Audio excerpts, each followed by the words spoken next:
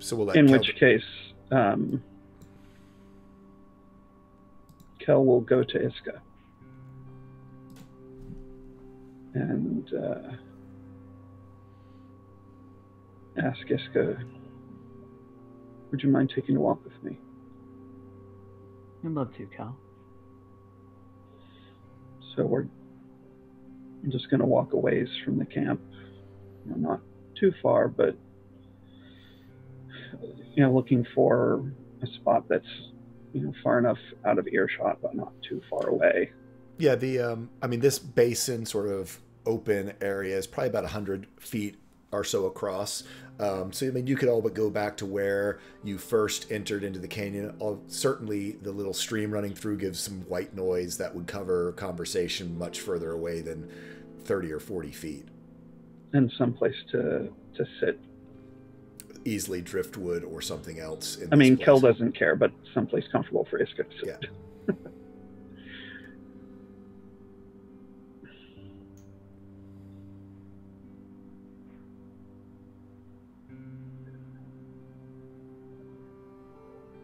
I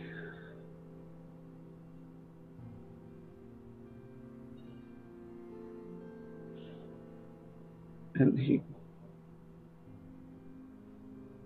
pauses for a longer moment than seems comfortable.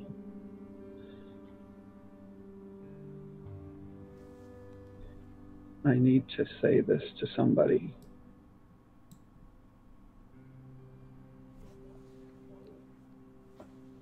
And I feel you're the best person I can say this to. What's going on, Cal?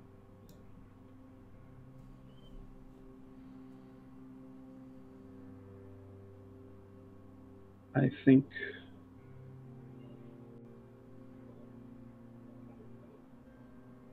I know the reason for my brother's anger towards me.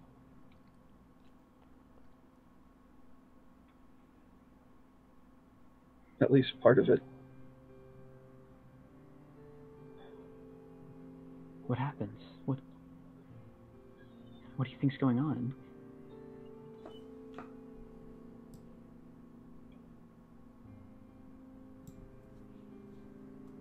Back in the vice, I had a, I had a vision of the last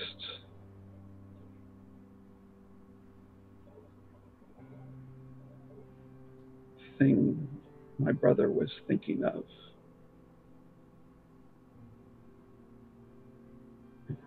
That fueled his becoming this revenant. The the doll that Luna has.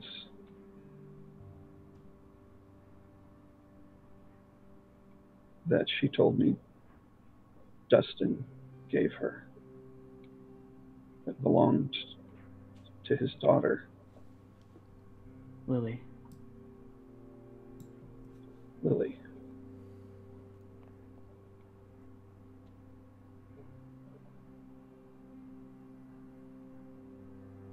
I saw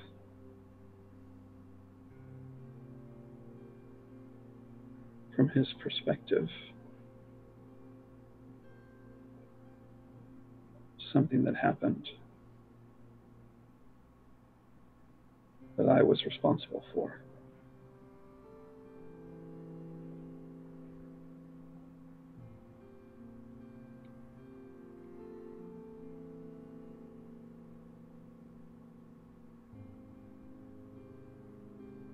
When I was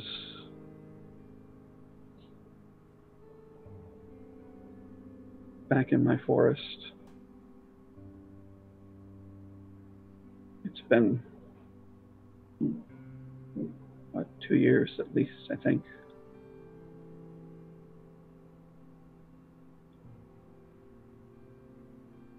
I found out that there was a group of human settlers we're starting to come into our forest to chop down trees, to kill what they saw as dangerous predators. But what I knew to be friends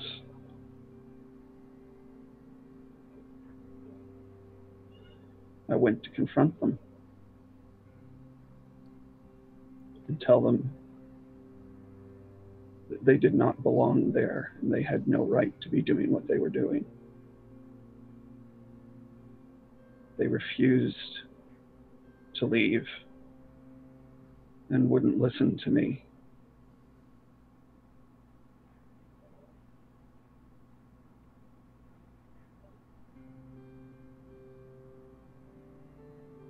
There was one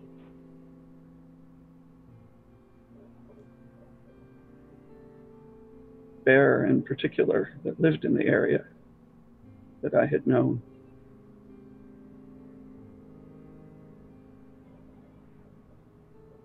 They had killed her for protecting her children.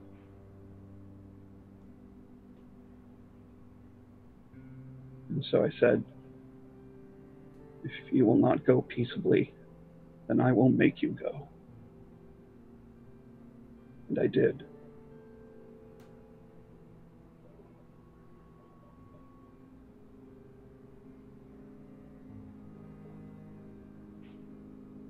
this apparently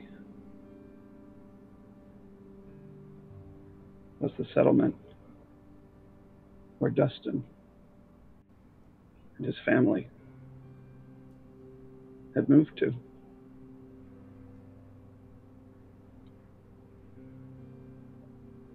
I hadn't seen my brother in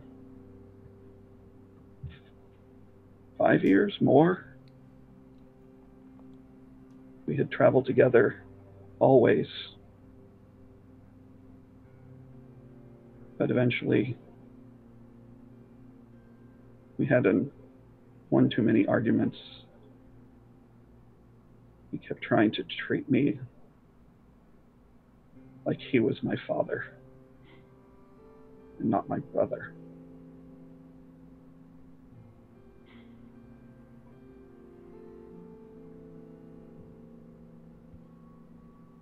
But apparently, in that time, he must have met these settlers and become their friends.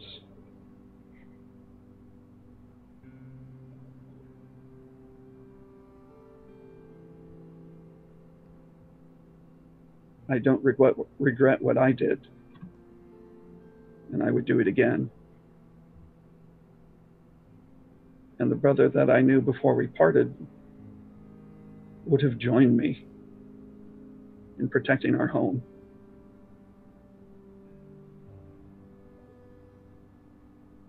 Because of what I did, from what Luna tells me, his daughter was blamed. As it seems, Genasi tend to be perpetually blamed indiscriminately.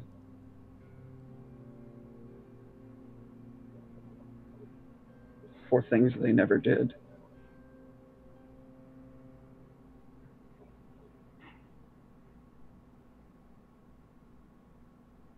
And that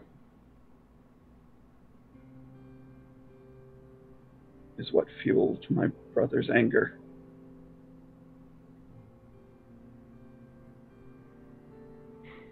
And because of, he holds up his finger, these cursed rings. Turned his anger towards me.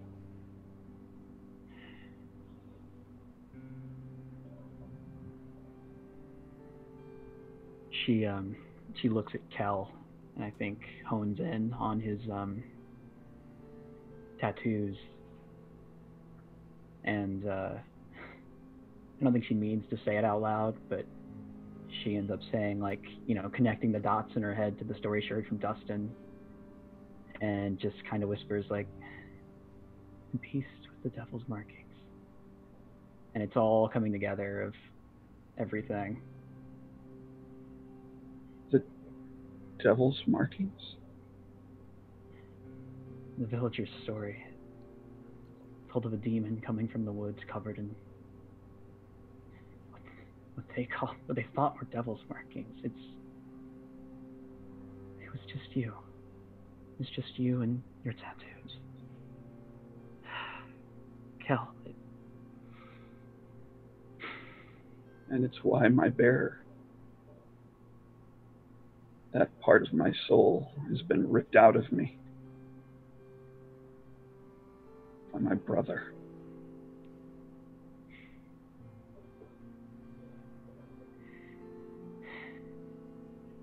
There is a moment of pause as Iska tries to figure out what even to do or say at this moment. There's a lot of feelings going through her head. But she breathes in and uh, looks to Kel.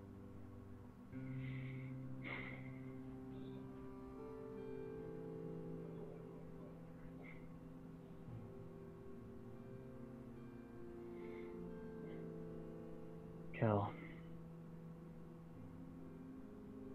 I'm, I'm sure you know this, but just so you hear it from me. You're not responsible for the superstitions in this world, or the fear of men in this world. Their cowardice, their irrationality, and their cruelty.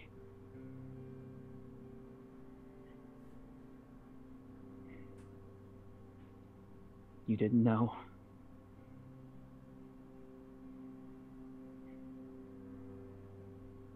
And you're here now.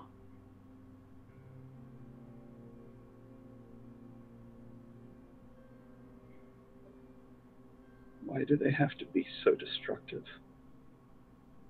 They're afraid, Kel. So hateful.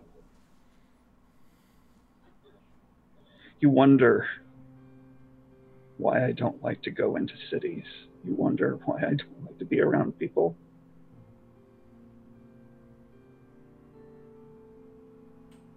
People like that have no regard for anything but themselves. They don't understand, Cal. They don't want to understand. So we make. I tried to. Ex- I tried to explain, and they didn't want to understand and they refused to understand. So I did what I had to do. And unfortunately, Kel, there will always be people who don't understand, always be people who don't want to learn. And the best I've got is we change as much as we can, as many people as we can. Where we are now, what we're doing now, that's for the good of the world. That's why we do this now anything that happened before, even even Lilly. That's done. But it's not done. he holds up the pouch. Because it lives on in my brother's anger right here. How do I fix that? How do I fix him? Luck God fixed his curse. Celia fixed hers. Cal, I don't know an answer. I don't know the answer. We are going to find it with you. Whatever lies ahead, whatever is in Falcon's Crest, whatever the answer to your curse is, it's out there.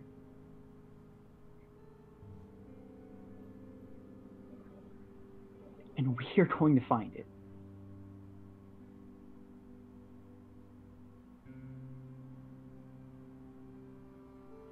Whatever's happening to you now, as angry as your brother is, this is not the life you deserve. This is not a punishment you deserve.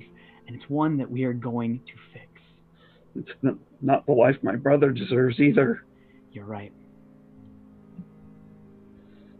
Anger and fear once again. We will find what we need to cure you, to cure him.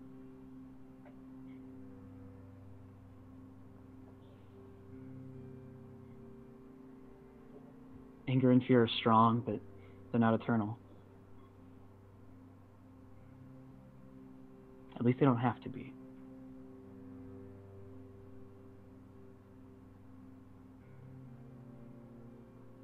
She um, doesn't touch Cal, but just extends a hand in like the middle ground between the two of them. They don't have to be. Kel reaches out and takes her hand. And she squeezes it tight.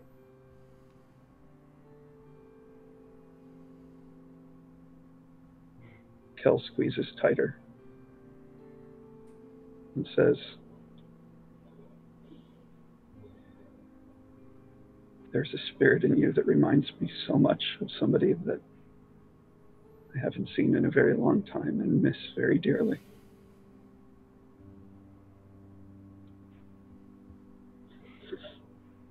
Thank you. Thank you.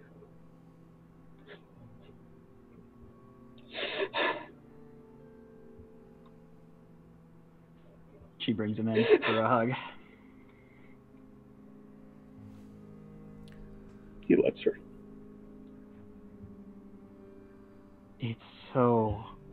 Hard not to be alone sometimes that we forget we need people.